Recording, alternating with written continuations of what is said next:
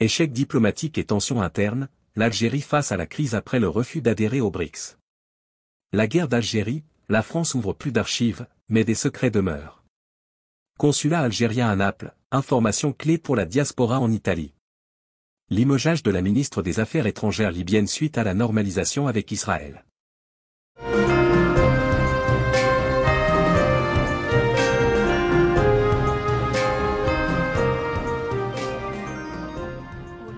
Échec diplomatique et tensions internes, l'Algérie face à la crise après le refus d'adhérer aux BRICS.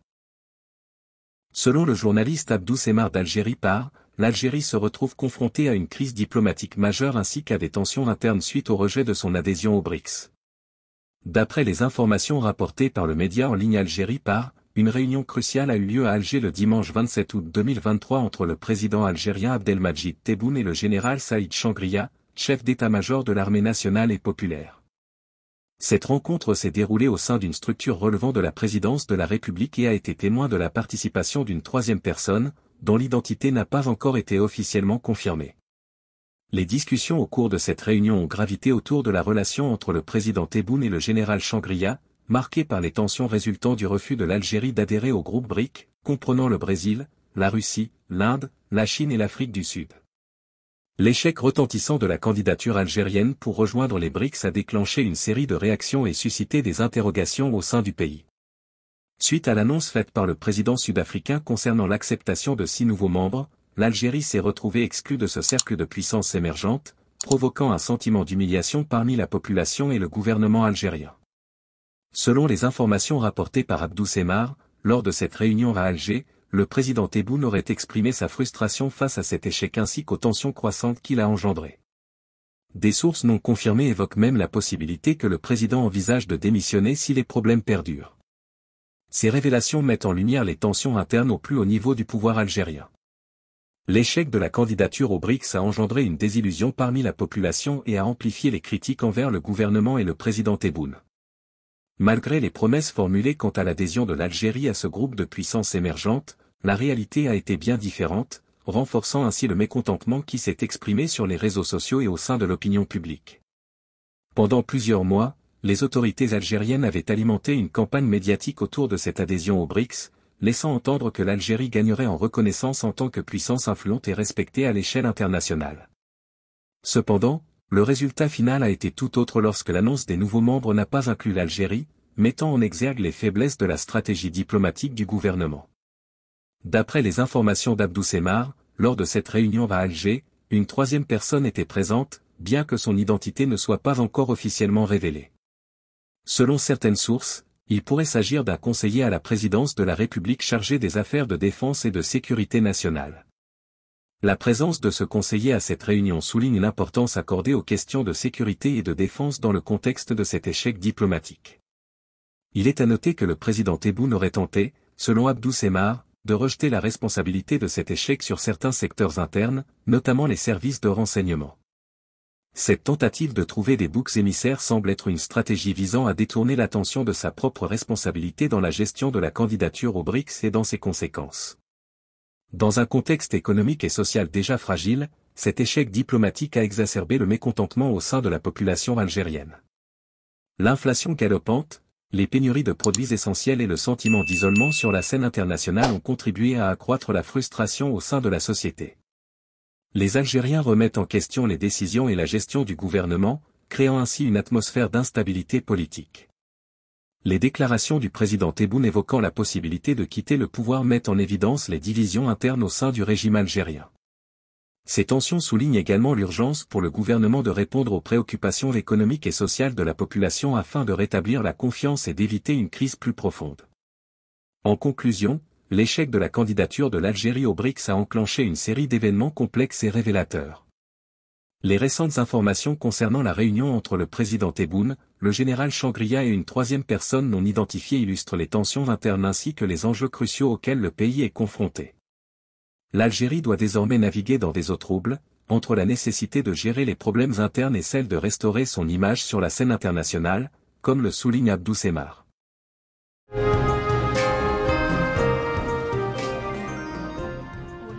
La guerre d'Algérie, la France ouvre plus d'archives, mais des secrets demeurent.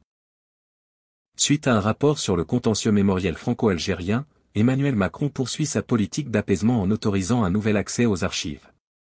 Un arrêté publié dans le journal officiel dimanche annonce une avancée significative dans les relations entre les deux pays. La France assouplit les restrictions d'accès à ses dossiers sur la guerre d'Algérie, permettant désormais la consultation des documents concernant les mineurs. En 2021, la France avait déjà anticipé de 15 ans la libération de ses archives judiciaires concernant la période allant du 1er novembre 1954 au 31 décembre 1966. Cependant, malgré cette mesure, l'accès à ces précieux documents demeurait problématique pour les chercheurs et les familles, comme le soulignait l'historien Marc-André dans une tribune publiée en novembre 2022 dans Le Monde. La principale barrière était l'exclusion des dossiers impliquant des mineurs, soumis à une classification de 100 ans en raison des lois en vigueur à l'époque. Cette restriction, ainsi que d'autres, entravait l'accès à la plupart des dossiers, laissant ainsi une partie de l'histoire dans l'ombre. L'injustice criante, des mineurs oubliés. Cette approche bureaucratique néglige la réalité d'une guerre menée par des jeunes, que ce soit au sein de l'immigration algérienne en France, dans les maquis, les réseaux urbains ou les prisons, où bon nombre d'indépendantistes, de sympathisants, de réfractaires et d'appelés avaient à peine 20 ans lorsqu'ils se sont engagés, souligne Marc-André. Ils ne manquent pas de s'indigner, considérés comme suffisamment mûrs à l'époque pour perdre leur vie, ils sont désormais déclarés suffisamment mineurs pour que leur dossier soit exclu de l'exemption générale. Un avenir incertain pour certains dossiers. Le nouvel arrêté, publié le dimanche 25 août 2023, met fin à l'exclusion des dossiers impliquant des mineurs. Néanmoins, certains documents restent toujours classés, notamment ceux qui touchent à l'intimité de la vie sexuelle des personnes ou à la sécurité de personnes spécifiques ou facilement identifiables impliquées dans des opérations de renseignement. Cette restriction, comme l'a souligné Marc-André, continue de clore de nombreuses pages de l'histoire. Cette nouvelle initiative s'inscrit dans la continuité de la politique d'apaisement amorcée par Emmanuel Macron lors de son premier mandat, en réponse aux recommandations du rapport Benjamin Stora sur le contentieux mémoriel franco-algérien lié au passé colonial. Cependant, malgré ces efforts, les relations entre la France et l'Algérie demeurent complexes, marquées par des malentendus et des zones d'ombre.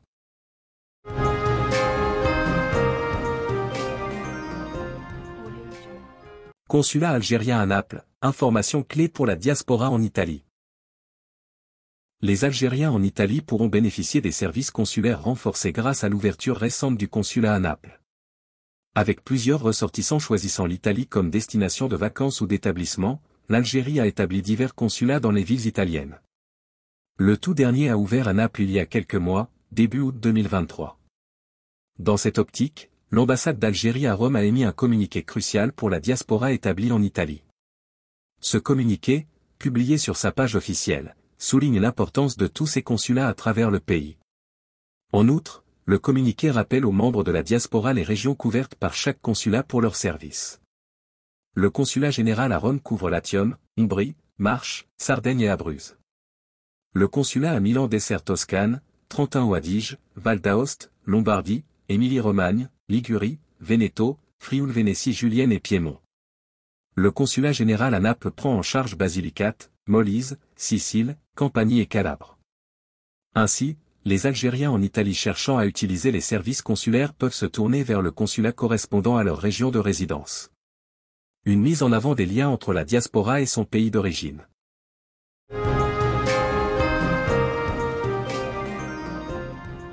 limogeage de la ministre des Affaires étrangères de Libye suite à une rencontre controversée avec Eli Cohen. En réponse à la vive polémique suscitée par une supposée réunion informelle avec son homologue israélien, Eli Cohen, la ministre libyenne des Affaires étrangères, Najla El Mangouche, a été évincée de ses fonctions.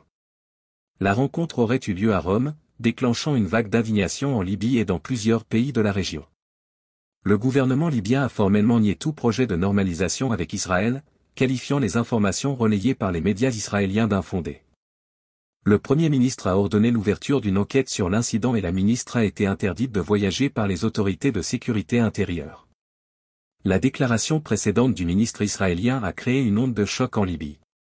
J'ai discuté avec la ministre des Affaires étrangères du potentiel des relations entre nos deux pays, avait-il annoncé.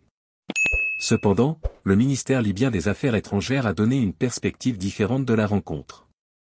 Ce qui s'est passé à Rome était une rencontre fortuite et non officielle, survenue lors d'une discussion avec son homologue italien, Antonio Tajani, sans aucune négociation ou accord, a souligné le communiqué libyen. La ministre a réaffirmé fermement la position de la Libye envers la cause palestinienne, insistant sur son refus de dialoguer avec toute partie représentant l'entité sioniste. Le ministère libyen a dénoncé l'exploitation de cet incident par les médias hébraïques et internationaux, les accusant de tenter de le présenter comme une réunion de pourparlers. Cependant, le gouvernement considère cette rencontre comme un précédent sérieux, ce qui a conduit au limogeage de la ministre après une suspension provisoire. Abonnez-vous à notre chaîne. Cliquez sur la cloche pour rester au courant de l'actualité algérienne.